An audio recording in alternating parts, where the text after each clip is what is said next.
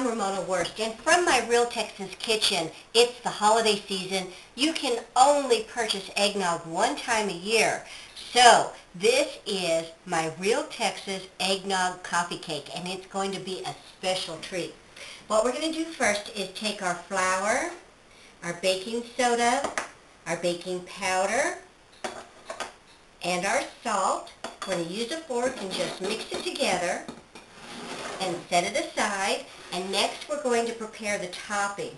I have chopped my fresh pecans, my brown sugar, fresh ground nutmeg. Now I use the actual whole nutmeg and use a little grater and grate it myself. Cinnamon and sugar. We're just going to take that and stir it around. Make sure you get all the little lumps out of your brown sugar. And then we're going to set that aside too.